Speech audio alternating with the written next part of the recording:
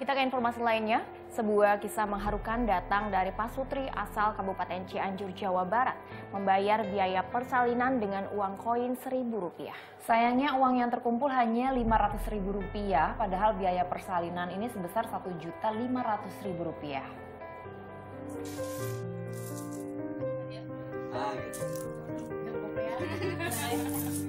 Pecahan koin inilah yang menjadi harapan Pak Sutri asal Kabupaten Cianjur, Rizka dan Yanto untuk membawa pulang anak mereka dari puskesmas pasca melahirkan.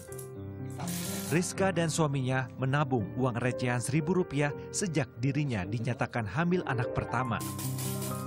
Sayang, setelah dihitung, uang yang terkumpul hanya sebesar lima ratus ribu rupiah. Keduanya pun sempat harap-harap cemas kala membayar tagihan persalinan. Udah, udah jadi kamu nggak keburu ditukerin. Tapi pas ditidak dua hari, terus dirujuk ke puskesmas, lahiran di puskesmas. Pas nginep sehari, pas mau bayar, ada perasaan takut nggak diterima uang koinnya. Namun tak disangka, empat hari setelah pulang dari puskesmas, Rizka diminta kembali untuk menerima uang koin yang ia bayarkan sebelumnya.